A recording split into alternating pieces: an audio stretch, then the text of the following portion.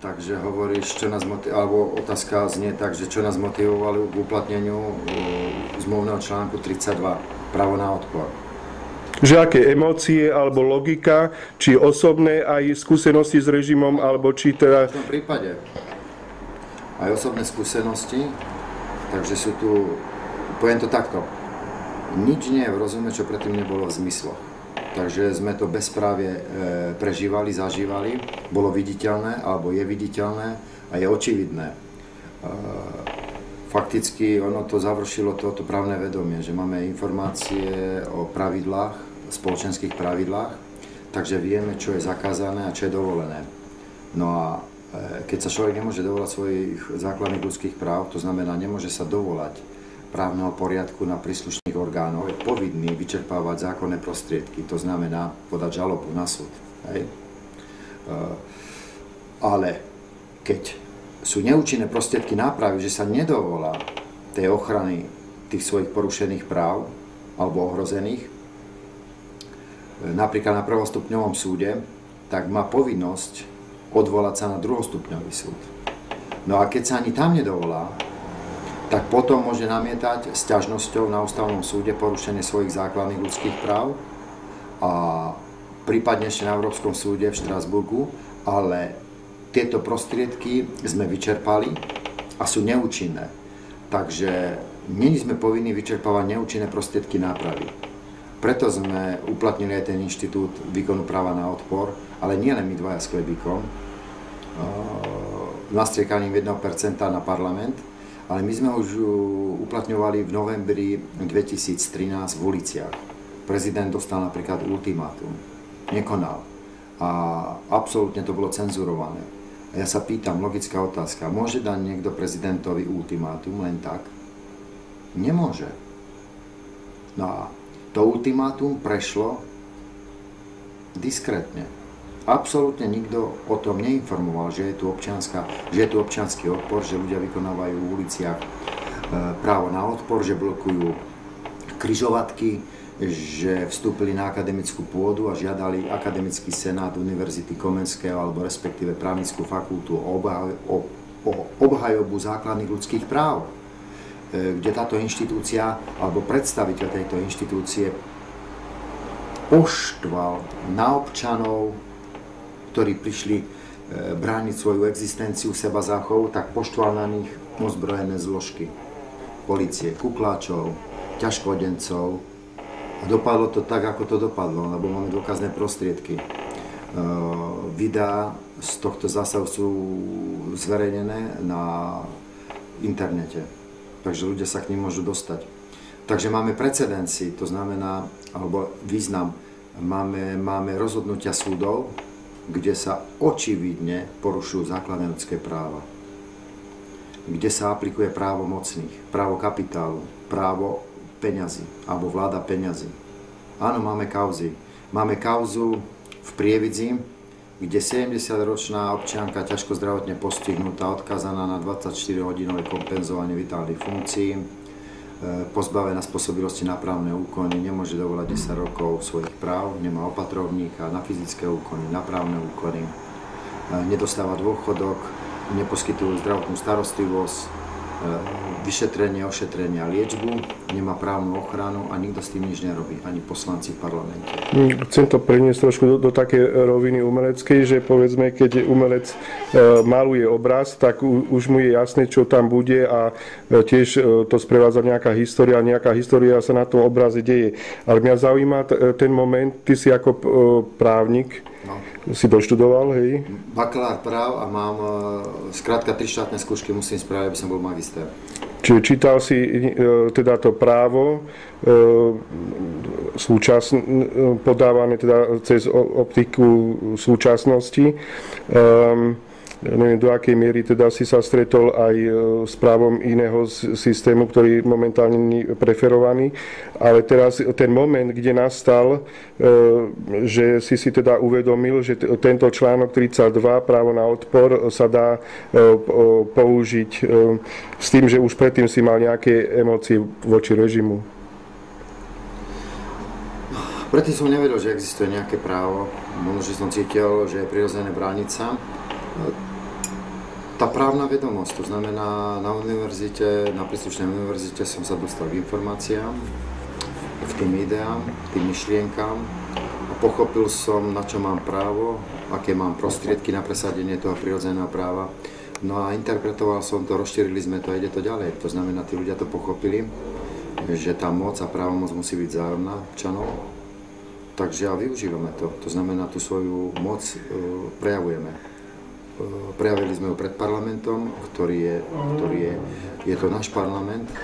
Aby sme tam všetci nemuseli sedieť, tak sme tam poslali pisárov, ktorí majú spisovať našu, naše šťastie, naše blaho.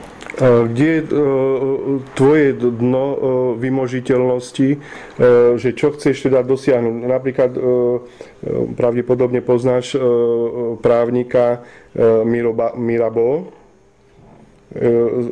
francúzska revolúcia, on bol ešte tak, taký feudál, feudálny právnik, ale bol veľmi nedisciplinovaný e, v tom režime, čiže sa dostal do, do konfliktu e, toho režimu. Ale vedel výborne koncipovať veci a on vlastne potom držal vývoj francúzskej revolúcie právne v tom smerovaní.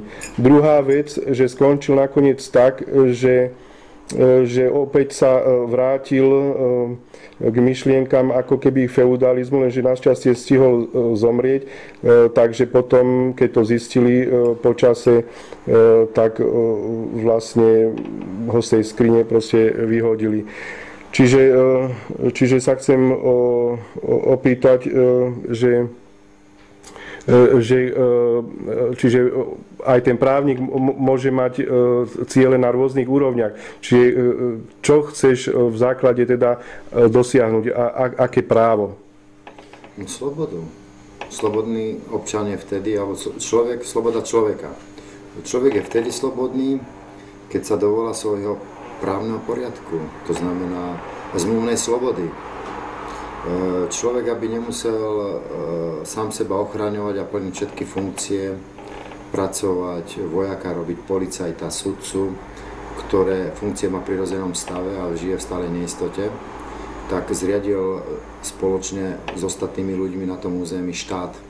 A tam je delba práce v tom štáte. A štát, ja budem pracovať, učiť sa, vychovať deti a štát bude delbou práce zabezpečovať slobodu.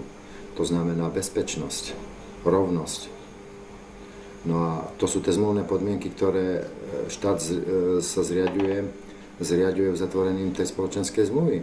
Tá spoločenská zmluva nám garantuje prirodzenú rovnosť, e, prirodzene nerovným. Fakticky, lepšie povedané, právnu rovnosť prirodzene nerovným, lebo sa rodíme nerovným. Jeden je silnejší, druhý je slabší, jeden je mudrejší a tak ďalej a tak ďalej. A v tom právnom systéme sme všetci rovní. A ešte chcem povedať, že za tú slobodu sa oplatí bojovať, lebo sloboda znamená aj to, že môžem e, e,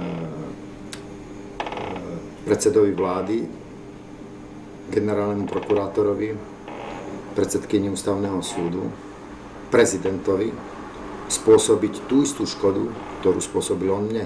To je tá rovnosť. Ak on môže a ja nie, tak sme nerovní. A teraz hovorím, s týmito ústavnými činiteľmi, lebo oni sú nadradení. Oni tu moc vždy zneužívali a zneužívajú. Chcem len krátko si povedať, e, teda jak by sme zadefinovali slobodu, len krátkosti v tom zmysle, že napríklad e, e, katolíci podkopávali komunistickú dogmu s tým vedomím, že, e, že ich e, viera je, požadovali vlastne od systému slobodu. Ale sami vnúcujú svoju dogmu, čiže oni si neuvedomujú tú hranicu, e, že na jednej strane vyžadujú pre seba slobodu, ale sami chcú vnútiť svoju dogmu, ktorú oni považujú za slobodu. A to je zvrátené. Čiže jak by sme mali zadefinovať slobodu, aby slobodou bola, čiže odogmatizovať? A jednoducho, sloboda sa dá jednoducho vyjadriť. Slobodní sme vtedy, eh, keď môžeme povedať nie. A v zásade v právnom systéme sloboda znamená e, sloboda rozhodovania.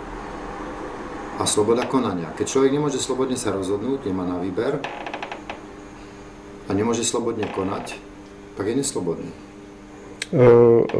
Ale poučení z, demokrat, z greckej demokracie máme možnosť sa poučiť, že musíme už na novo definovať demokraciu v tom zmysle, lebo oni zistili v tej dobe, že sú dve krajnosti. Jedna krajnosť je sloboda oligarchie a druhá krajnosť je e, e, sloboda e, ľudu. Čiže že oni proste, že každý si bude rozprávať svoje nároky a názory. Čiže kde je tá hranica? Oni dokonca tam mali určité krátke obdobie, že musia hovoriť v prospech celku.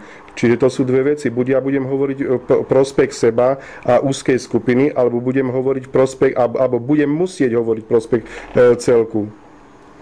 Ja to poviem jednoducho, to, sú, to je hotová veda. Skrátka, áno. E, slobodný národ je vtedy, keď je tam blaho šťastie.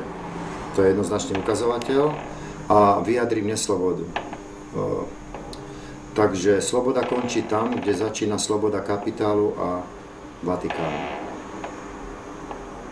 To je ich sloboda, my sa ich pravdou už oklamať nedáme. Takže tam, kde začína ich sloboda, tam končí sloboda občanov. A vysvetlím to ešte presnejšie. E, občania Vatikánu, občania kapitálu, ničia občana štátu. Mohol by si súhlasiť, keď poviem, že demokracia je iba prostriedkom, je iba cesta e, k tomu, aby, k cieľu, k zákonom, aby sme demokraciu vpísali do zákonov. To znamená, aby sme nevytvárali psychózu, že sa domáhame svojich základných práv, ale tie by mali byť e, zo, zákone, zo zákona každému e, e, dané. To znamená, že nemusí o ne bojovať. Čiže tým by sme odbúrali zbytočný boj o základné podmienky, ktoré majú byť splnené pre všetkých, čo sa týka bytu a, a, a podobných, podobných vecí. Garantovať ľudskú dôstojnosť. No a oni, oni ju fakticky potlačajú. To znamená, demokraciu si vybrali ako nástroj na okupáciu, okupáciu národov. Stále sa uplatňuje ten feudálny, alebo princíp e, katolického feudalizmu, to je objektívne, objektívne zriadenie. E, stále sa to uplatňuje, to znamená, jedni vládnu a druhí poslúchajú. E, ide o stále o ten aristokratický princíp. Máme v spoločnosti ešte jeden problém, Mnohí hovoria, že, že majú sa uh, uh, veci uh, upratovať len v danom štáte. Či by sa to nemalo riešiť globálne? Samozrejme, však to je globálny problém. Je okupovaná celá Európa, to znamená, oni si aplikovali. Znova sa vrátim k tomuto. Majú na to nástroje vola kedy, vola kedy boli analfabeti, nevedeli čítať a písať a fakticky len počúvali to, čo im hovorí aristokracia. Duchovenstvo a aristokracia. E, v kostoloch e, kňazi spisovali knižky, mali prístup k informáciám a cenzurovali tie informácie, takže ľudia boli udržovaní nevedomosti, tisíc, e, tisíc rokov alebo koľko. No a osvietenstvo prišlo až vynádením knih tlače Gutenberg. Začali sa šíriť slobodné informácie v tých knižkách, to sa nedalo udržať a vtedy prišlo svetlo do tmy. Tú tmu garantovala církev, katolická církev. To sú objektívne fakty, to nemusíme dokazovať. No a ide o to, že teraz máme analogický stav. Ľudia, ktorí počúvajú, pozerajú média, aristokracie, umelé aristokracie, tak fakticky robia to isté, čo vo feudalizme, v katolickom feudalizme, tedy ich, ich predchodcovia. Takže počúvajú to, čo hovorí umelá aristokracia fakticky sú, je ten istý stav, analfabeti. Lebo prestali čítať knižky. Uh-huh. Takže, a oni týchto analfabetov zase udržujú v, tom, e, v tej nevedomosti. E, takže zase musí prísť svetlo do tej tmy. A oni sa boja tých jednotlivcov, ktorí uplatňujú tie svoje práva, e, sledujú ich, monitorujú, zatvárajú, kriminalizujú. Ten istý analogický stav, ako bol v stredoveku. No, čiže nacionalistom by sme vlastne mohli odkázať, e, že e, nestačí len e, kritizovať globálny vývoj, ale aj, aj ten nacionálny, lebo nemajú záruku, že ten ich vodca sa neuzavrie tiež do nejakej nadradenej schizofrénie. Čiže preto musíme riešiť teda globálne ten humanizmus. To znamená, že ak nesmie štát okrádať človeka, tak nesmie ani štát štát okrádať druhý štát. Preto majú byť tie zákony globálne riešenie, aby nám tí aristokrati nemali kam uísť. Presne. Takže môžem povedať, áno, môžem to potvrdiť, to znamená, stredovek neskončil, stredovek pokračuje.